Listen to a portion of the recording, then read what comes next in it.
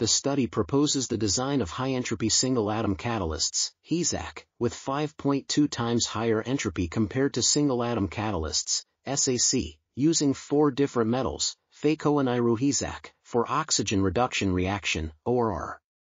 The Fe active sites with intermetallic distances of 6.1 A exhibit a low ORR overpotential of 0.44 V, which originates from weakening the adsorption of OH intermediates.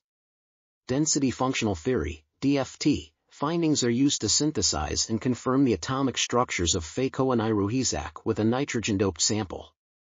The predicted high catalytic activity is experimentally verified, finding that Fe-Co-Ni-Ru-HESAC has overpotentials of 0.41 and 0.37 V with Tafel slopes of 101 and 210 mVdec-1 at the current density of 1 mA cm-2 and the kinetic current densities of 8.2 and 5.3 mA cm-2, respectively, in acidic and alkaline electrolytes. The Fe-Co-Ni-Ru-HESAC is used for zinc-air battery applications with an open circuit potential of 1.39 V and power density of 0.16 WCM-2.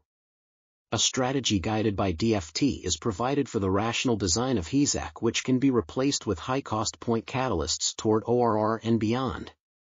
This article was authored by Mohsen Tamtaji, Min-Gyu Kim, Jun Wang, and others. We are RTCL.TV links in the description below.